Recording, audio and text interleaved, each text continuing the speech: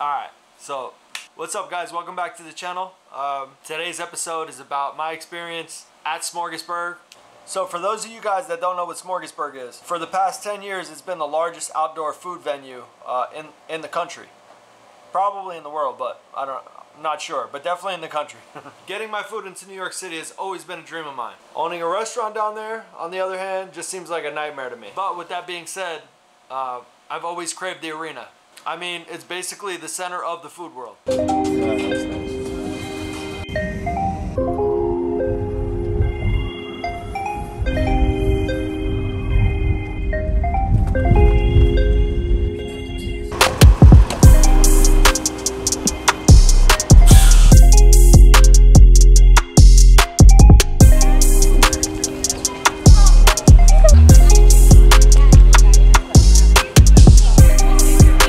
To the left. Let's go eat. You ready to eat? Yes.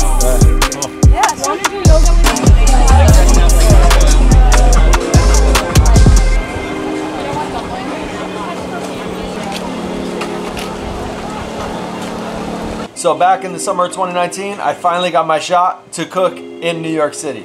And I got really fucking excited. The New York Times has called it the Woodstock of food.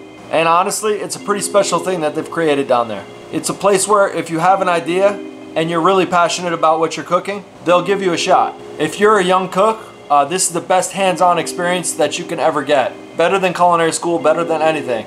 Smorgasburg gives you uh, the platform and the opportunity to share your food in the largest arena on the planet. And for them to give me that opportunity, I'm truly grateful.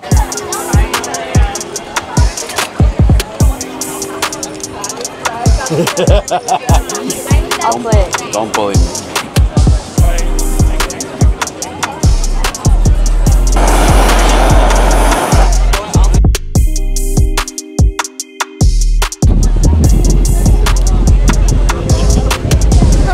Oh, my God, he's so big. it's a ham. He likes the camera. Oh yeah. Modeling contract. Yeah, he's a long haired just Keep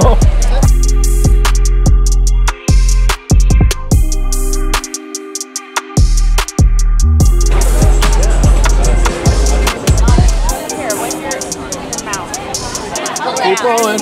Yeah, buddy. 10 out of 10. 10 out of 10. 10 out of 10. There you go.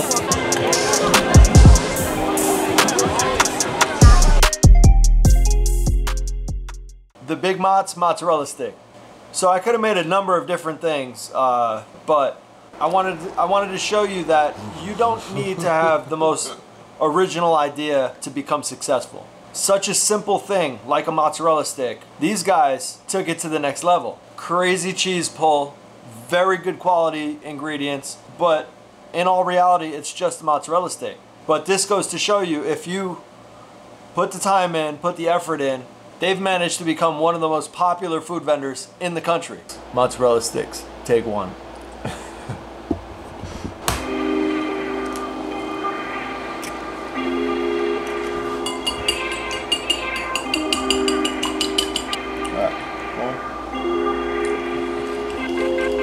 I figured uh, a lot of you guys have these at home.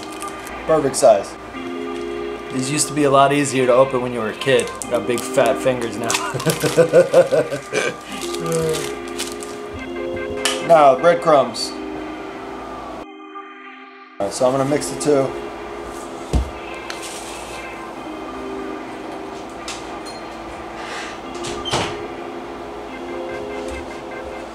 Try a double dip. Oh, looks pretty good, bro. Okay, now I'm gonna make the sauce.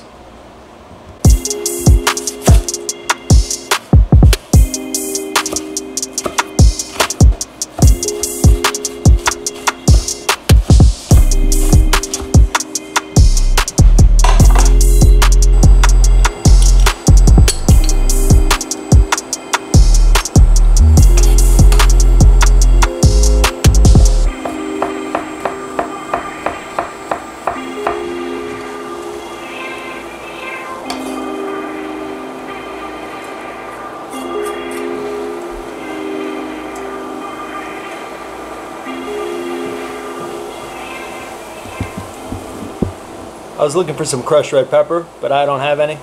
Uh, you can go without it.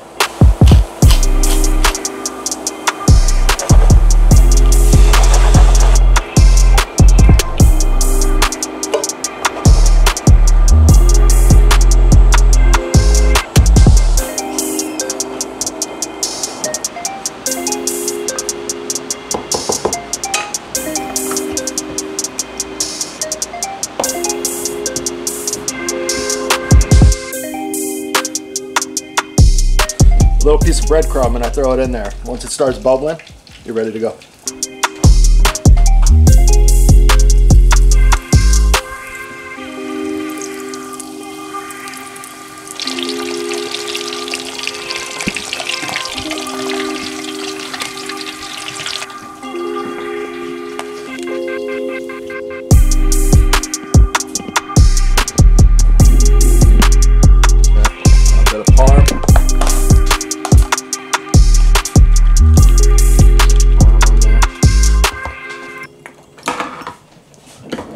Ooh, it smells good. All right, let's go to the table. No sauce. Oh yeah.